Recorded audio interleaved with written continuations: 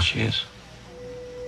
And she's uh, she's married with three kids, and she lives somewhere. I think uh, kind of woodsy. She's a surgeon. She goes to work every day, so she refuses to hire help. So her house is always a mess, and it has Christmas decorations all over it because she won't let her husband take them down. Izzy left me. She wrote a note and she left me. I. Smells like muffins and she's she's smiling. When I picture her, she's always smiling. I don't, I don't, I don't know if she's coming back. Stood right by the tracks, your face in a locket. What if I don't have anything to wish for? What if I have everything I could ever want? And wish that nothing changes. long they will wait. Don't go. We We got married. a beautiful magic love She was worth it to you. Left. What a sight. And I'm with Izzy.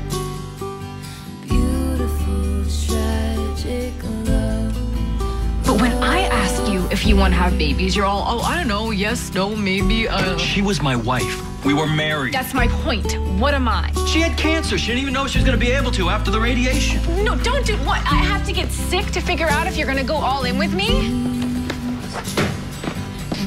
And now you're gonna go. Yes. And you're right. It's kind of none of your business. And I'm not doing this. I'm not talking about babies that I didn't have with Izzy, or may or may not have with you. Beautiful. Maybe it's nobody's fault. Maybe you only get one. It's taking its sweet time. One what? Soulmate or true love? Well, then who is he? Alex, Izzy wasn't your one true love. And even if she was, What was Derek? Are you telling me that you think that's coming around again? that was different. Ow. I love you. What? I love you. I freaking love you. I just got the solo surgery, and the first thing I did is look for you, and you weren't there. You're never there anymore. And I've been thinking about it, and I, I think it might be because you love me too, and because you're scared of that. Alex, just listen. Scared. I don't know what you're so mad about, and I don't know what you're scared of because you won't talk to me. But I'm scared too, Alex, and I, I can't. If you won't. You died in my arms. You freaking died, and then you left instructions that I wasn't allowed to save your life.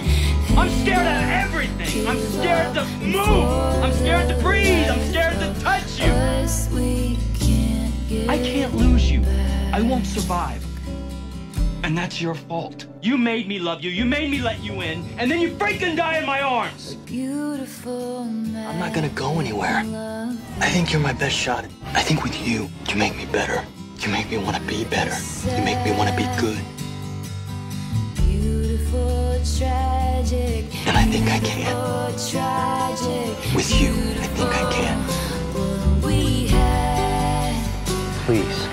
Alex. Look, you went crazy. When Denny signed that DNR, you went crazy. Is that what you want? You want me cutting LVADs? You want to wreck my career? Because I will. I will freaking cut LVADs before I let you just tear it up. The DNR, tear it up. I need you to understand. I don't want you to go crazy. I want you to have a brilliant career, and I hope that I get to be here for that. But if I can't, He chose to abandon it all for who he says is the woman I love you. He loves. Maybe it's not fair to say that, but it's true. It's also true.